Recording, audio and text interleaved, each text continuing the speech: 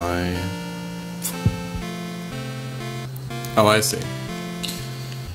Okay.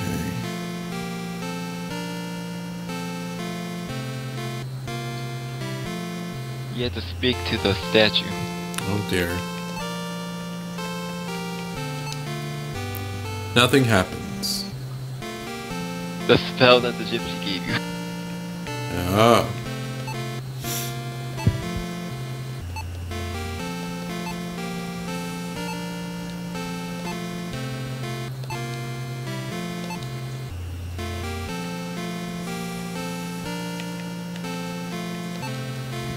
You shouted, "Oh sesame!" as loudly as possible. It's 12.30. The marble bust speaks. It moans these words. Uh, let the door be open for this poor stray lamb, but he must not travel in darkness. As soon as the statue stops speaking, the door opens.